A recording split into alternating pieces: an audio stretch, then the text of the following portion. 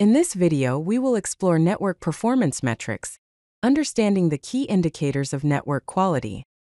By understanding these metrics, you can make informed decisions about network design, troubleshooting, and optimization. Bandwidth is the maximum rate at which data can be transferred across a network connection in a given amount of time. It represents the theoretical maximum capacity of a connection, like the width of a highway. More lanes allow more traffic. It is important to note that bandwidth is not the same as actual throughput. Common units for measuring bandwidth include kilobits per second, megabits per second, gigabits per second, and terabits per second.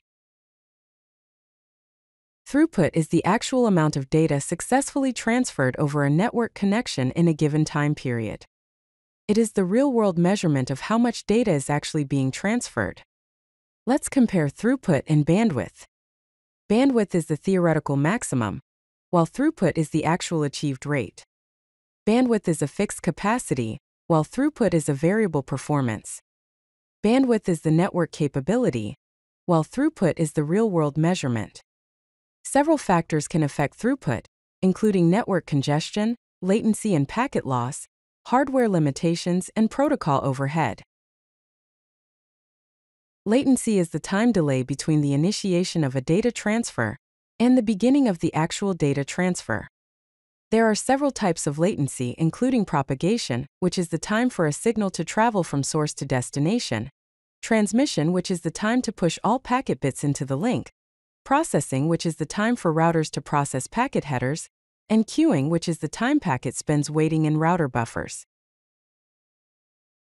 Jitter is the variation in latency or packet delay over time. It measures the inconsistency in packet arrival times. Jitter can have a significant impact on applications, causing stuttering and lag spikes in online gaming, buffering and quality drops in video streaming, and choppy audio and echoes in voice over Internet Protocol calls.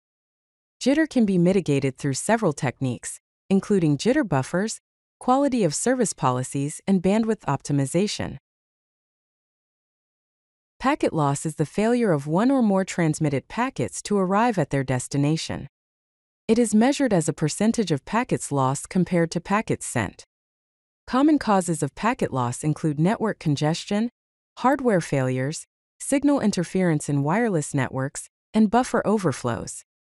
Acceptable packet loss rates vary depending on the application, with gaming requiring less than 1%, voice over Internet Protocol requiring less than 1 to 2%, and video streaming requiring less than 5%.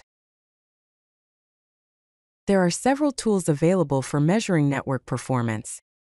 Ping is a simple utility that sends Internet Control Message Protocol echo requests to measure round trip time between hosts. iPerf is a network testing tool that creates transmission control protocol or user datagram protocol data streams to measure maximum network throughput. Traceroute is a diagnostic tool that tracks the path of packets across a network and measures transit delays. Speedtest is a web-based service that measures connection performance to Internet servers. Wireshark is a network protocol analyzer that captures and inspects data packets in detail. MTR combines functionality of ping and traceroute to provide continuous monitoring. There are several strategies for optimizing network performance. Hardware optimization involves upgrading network interface cards and routers, implementing load balancers for traffic distribution, and using wired connections when possible. Software techniques include implementing quality of service policies, using content delivery networks, and optimizing transmission control protocol window size and buffer settings. Monitoring and management involve implementing continuous performance monitoring, setting up alerts for performance degradation, and regularly analyzing traffic patterns. Remember that network performance optimization is an ongoing process that requires regular monitoring, analysis, and adjustment. If you like this video, hit that like button and don't forget to subscribe. Visit codelucky.com for more such useful content.